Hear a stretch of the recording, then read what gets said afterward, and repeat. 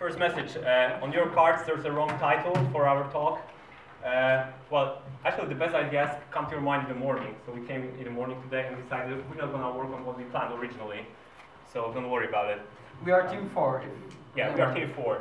And uh, the motivation uh, of the project uh, that we're going to present to you today.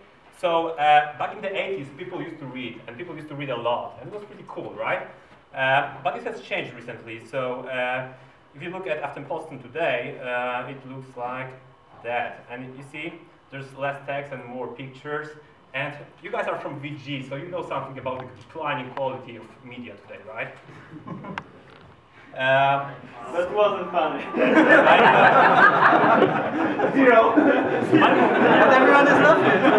But I, I, I, I have to it's, it's gonna get even worse in the future. And it's gonna be even worse. Minus one. Okay, okay.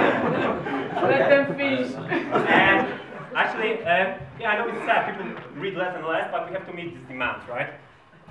And uh, we try to prepare something for the generation of the iPhone kids. And, um, you know, those people like uh, effects and animations, and then they'll like, they don't like to read a lot. So, uh, this is what we created. And um, so this is the app, so you can go to the news like that. So it's And- like uh, future Aftenposten can look like. and it's all shiny. And if there's your grandma around, you can still open some text for your grandma. And it's like that. And, and it's slow on purpose because your grandma is used to the slow internet.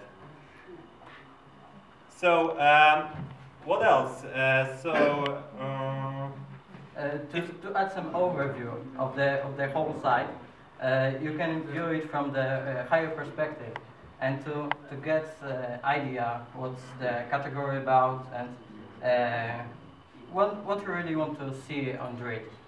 Yep, and uh, actually it's all uh, shortcut based, so uh, I'm not sure if average uh, Aftenposten reader uses VI or Emacs, but some of us like those shortcuts, so everything here is uh, based on shortcuts as well as uh, you can click uh, everything too. Yeah, he was crazy about it. Yeah, and uh, there's also integration with Twitter because you can't be a serious app without, without Twitter integration nowadays. Or, or iPad site app or something. You know. Yeah, and uh, basically that's it. And uh, what we used for this, uh, we took Reveal.js, uh, we extended it, we fixed one bug, and uh, basically that's it. Yeah. Thank you.